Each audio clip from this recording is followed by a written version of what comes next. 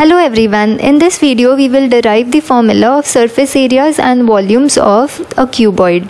We come across various problems related to cubes, cuboids, cylinders, cones and many such objects the main problem always is we don't remember the formulas and sometimes we do not know which exact formula to apply.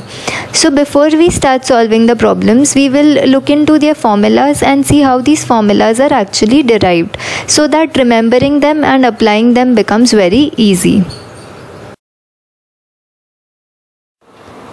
Don't forget to find us on YouTube and subscribe the channel and press the bell icon to see many more such interesting videos and many concepts solved very easily. Let's start with the introduction of a cuboid.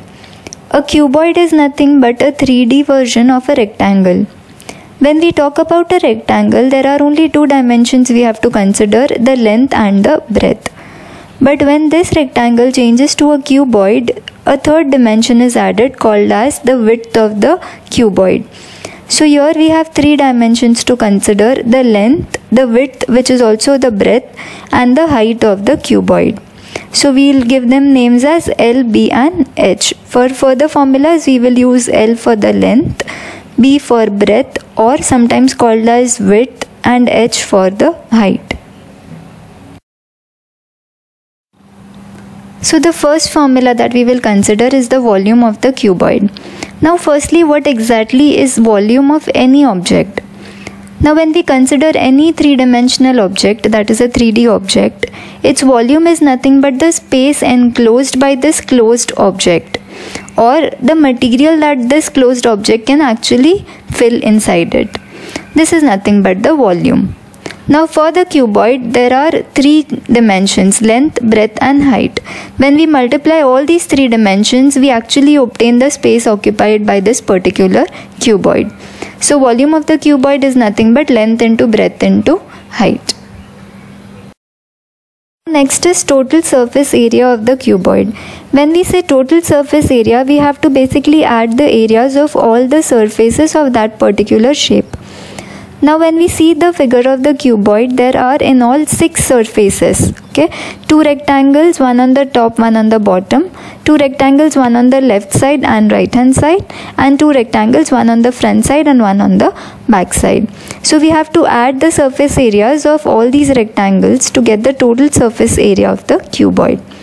Now for the two rectangles, one on the top and one on the bottom, the formula will be length into breadth. So twice L into B.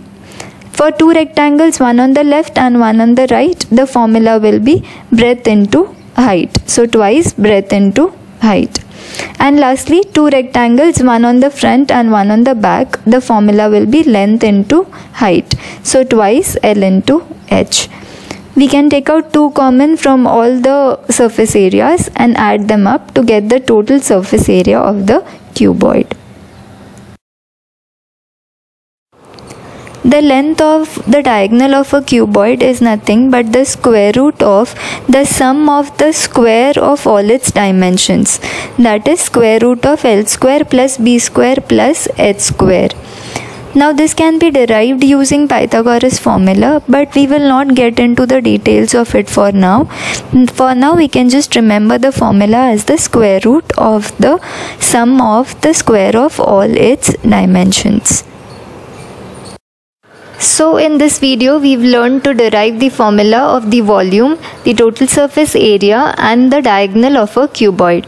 I hope you've understood this and it will get easier to remember this in the future.